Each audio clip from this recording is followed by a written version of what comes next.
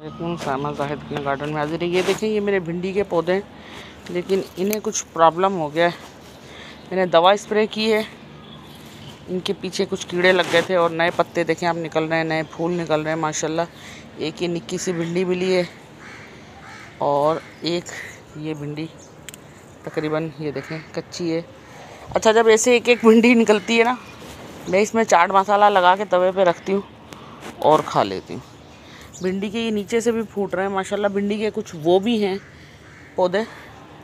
लेकिन बहरहाल गार्डन में कुछ ऐसा ही चल रहा है। देख रहे हैं आप, टोकरियाँ काफ़ी खाली हो गई हैं। ये तीन, ये चार, ये भी एक भिंडी का पौधा है जो लगा हुआ है हमने, इसको लिटा दिया है।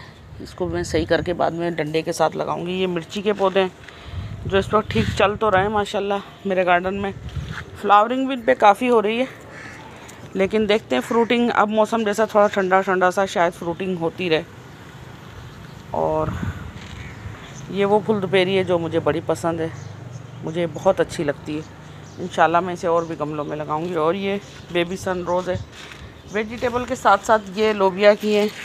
ये देखिए, इस टाइप निकलती हैं, यहाँ पे कलियाँ निकलती हैं, फिर दो चार लोबिया की फलियाँ निकलती हैं। एक कीड़ा सा और आता है, जो कलियाँ ही काट देता है। इस तरह भी मिर्ची के पौधे हैं। और इस तरफ़ दिखाऊँ तो ये भी मिर्ची के पौधे हैं और माशाल्लाह, ये देखें, ये खूबसूरत येलो फूल निकला है जो मुझे बहुत अच्छा लगता है। ये देखें, ये गोम्प्रीना फ्लावर है, इसका नाम मुझे नहीं पता। ये बेल बन जाती है वैसे।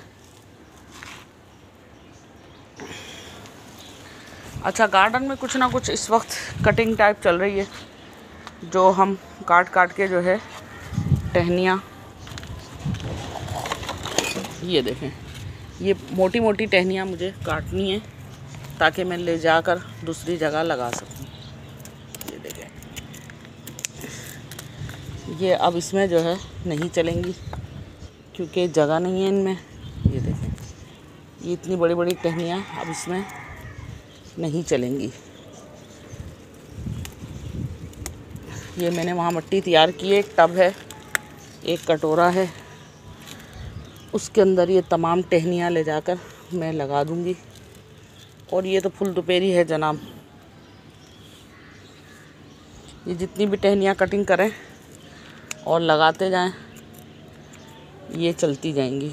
अब ये फ्लावर वाली मैं इसलिए कटिंग कर रही हूँ कि ताकि ये और खूब अच्छे से फैल जाएँ, ताकि इनकी जो भी टहनियाँ निकलें वो सही निकलें।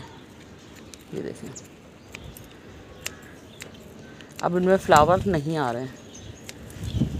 अब इन्हें खाद भी देने का टाइम है। अच्छी सी कोई खाद भी दी जाए।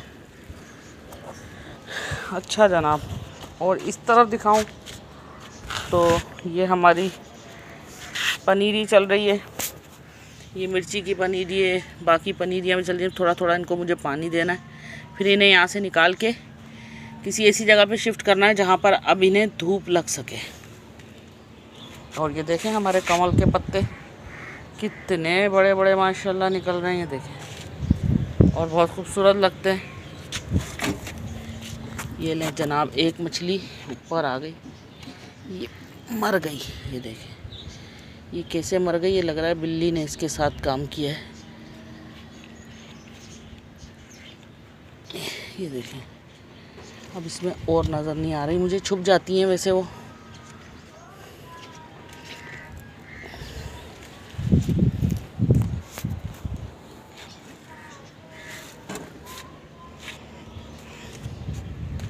बाहर हाल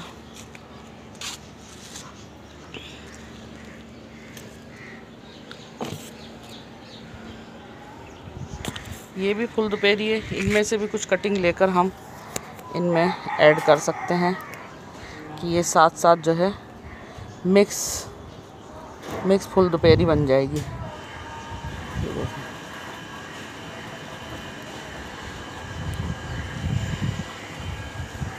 और ये मैंने पुदीने को यहाँ थोड़ा सा इस पौधे के साय में रखा है और कुछ साया इससे मिलता रहता है।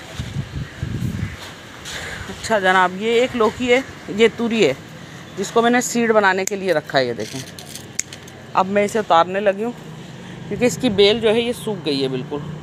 लेकिन सीड फिर भी बन जाएगा। ये देखें। ये इसने पकड़ा हुआ है इसको। इनके तार बड़े मज़बूत होते हैं। ये देखें।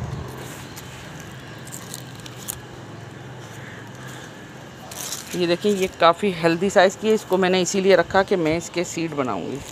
अब मैं इसे नीचे ले जाकर रख दूँगी तो सीड बन जाएँगे इन प्लीज़ मुझे लाइक कर